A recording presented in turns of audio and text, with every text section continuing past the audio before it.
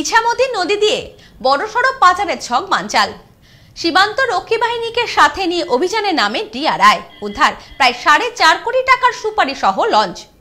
গ্রেপ্তার, পাচার গ্যাংয়ের সাতাশ জন সদস্য। ইছামতি নদী দিয়ে বড়সড় পাচারের ছক। সীমান্তরক্ষী বাহিনীকে সাথে নিয়ে অভিযান ডিআরআই এর উদ্ধার, সাড়ে চার কোটি টাকার সুপারি। ঘটনায় গ্রেফতার পাচারের গ্যাংয়ের সাতাশ জন সদস্য। উদ্ধার লঞ্চ সহ সুপারি। উত্তর চব্বিশ পরগনার বসিরহাট মহকুমার হিঙ্গলগঞ্জ থানার ভারত বাংলাদেশ সীমান্তে ইছামতি নদীতে বড়সড় আন্তর্জাতিক সুপারি চক্রের গ্যাং ধৃত। সূত্রের খবর অনুযায়ী, ডিআরআই এবং সীমান্ত শুল্ক দপ্তরের কাছে গোপন সূত্রের খবর ছিল, ভারত থেকে বাংলাদেশে জলপথে লঞ্চে করে প্রায় সাড়ে চার কোটি টাকার সুপারি পাচার হচ্ছে। জলপথে সুপারি যাচ্ছিল। সেই সময় ডিরেক্টর অফ রেভিনিউ ইন্টেলিজেন্স আধিকারিক সেই লঞ্চে তল্লাশি করতে গিয়ে দেখা যায় তাদের কোনো বৈধ কাগজপত্র নেই। সম্পূর্ণভাবে বেআইনিভাবে এগুলি জলপথে বাংলাদেশের সীমান্তের দিকে নিয়ে পাচার করার উদ্দেশ্য ছিল পাচারকারীদের। ইতিমধ্যেই সাতাশ জন বাংলাদেশি পাচারকারীকে হাতে না হাতে গ্রেফতার করে শুল্ক দপ্তরের আধিকারিকরা। ধৃতদের আজ বসিরহাট মহকুমা আদালতে তোলা হয়। এদের সঙ্গে আন্তর্জাতিক পাচার চক্রের মূল পাণ্ডারাই গ্রেফতার হয়েছে কিনা সেটাও তদন্তকারীরা দেখে নিতে চাইছে। বাংলাদেশ, মায়ানমার সহ একাধিক দেশের সঙ্গে এদের যোগসূত্র আছে কিনা তাও খতিয়ে দেখছে তদন্তকারীরা। সূত্রের খবর অনুযায়ী ভারত বাংলাদেশ সীমান্তের এই এলাকার সীমান্ত নির্ধারণ হয়েছে জলপথের মাধ্যমে। বিস্তীর্ণ জলপথ জুড়ে সীমান্তরক্ষী বাহিনীর সতর্ক দৃষ্টি থাকে। ভ্রাম্যমাণ জলযানে চেপে নিয়মিত নজরদারি করেন সীমান্তরক্ষী বাহিনীর জওয়ানেরা। তা সত্ত্বেও বিস্তীর্ণ সীমান্ত এলাকা হওয়ার সুবাদে মাঝে মধ্যেই বিক্ষিপ্ত চোরাচালানের খবর উঠে আসে সামনে। এই তালিকায় গরু পাচার থেকে শুরু করে সোনা, এমনকি মানব পাচারের ঘটনাও উঠে আসে সামনে।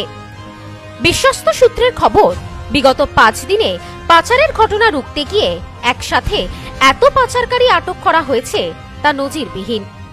বিএসএফ সূত্রে খবর, দীর্ঘ জলপথ সীমানায় নিয়মিত নজরদারি চালানো হয়। সীমান্ত সুরক্ষায় সদা তৎপর বিএসএফ কর্মীরা।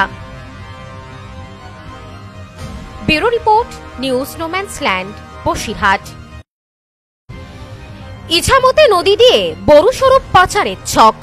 সীমান্তরক্ষী বাহিনীকে সাথে নিয়ে অভিযান ডিআরআই এর উদ্ধার সাড়ে চার কোটি টাকার সুপারি। ঘটনায় গ্রেফতার পাচারের গ্যাংয়ের সাতাশ জন সদস্য। উদ্ধার লঞ্চ সহ সুপারি।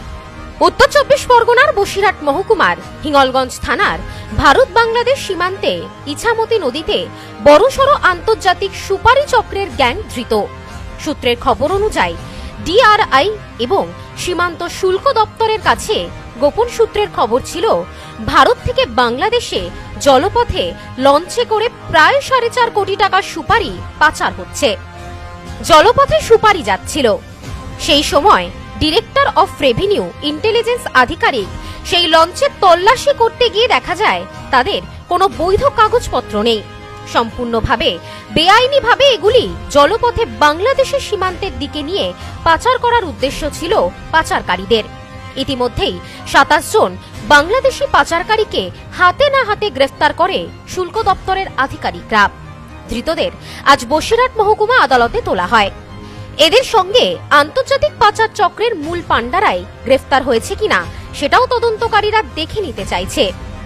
বাংলাদেশ, মায়ানমার সহ একাধিক দেশের সঙ্গে এদের যোগসূত্র আছে কিনা তাও খতিয়ে দেখছে তদন্তকারীরা। সূত্রের খবর অনুযায়ী, ভারত বাংলাদেশ সীমান্তের এই এলাকার সীমান্ত নির্ধারণ হয়েছে জলপথের মাধ্যমে। বিস্তীর্ণ জলপথ জুড়ে সীমান্তরক্ষী বাহিনীর সতর্ক দৃষ্টি থাকে।